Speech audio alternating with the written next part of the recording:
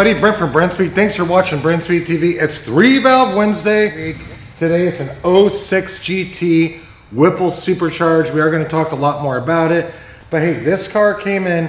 This client bought it used. Ran horrible. So we have a service here. It's kind of like a diagnosis, like let you know what what'd you buy. A lot of people call and say, I just bought this used car. I don't even know what's on it. So you can bring your car in, figure out what he bought. But this thing had some melted cats it had some bad sensors, some wiring messed up.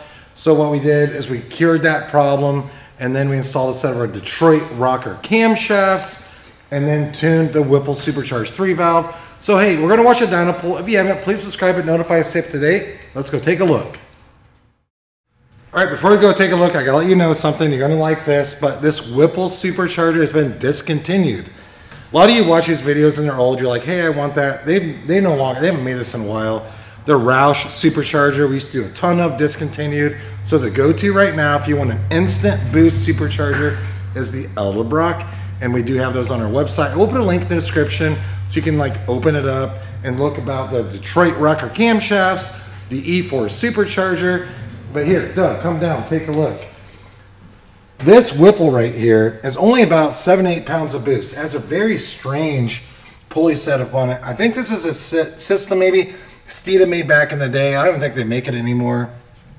But 7.8 PSI. We installed colder spark plugs, but it's the intercooled Whipple supercharger kit. Those sweet Lopi Detroit rocker camshafts. This does have a set of shorty headers on it, so no long tubes. And then we did a pipes, catted H-pipe to fix the melted cat problem this car had when the client bought it. Check out this dyno pull.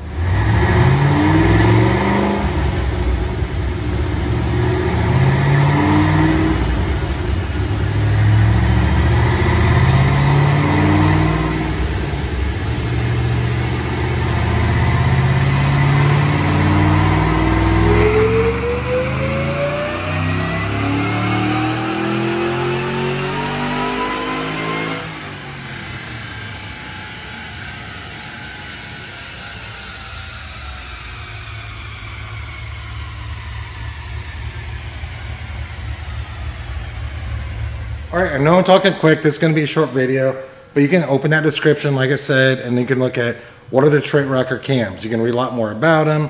But over here, we have 467 rural horsepower SAE on our Dynojet, peaking at 6,300 RPM.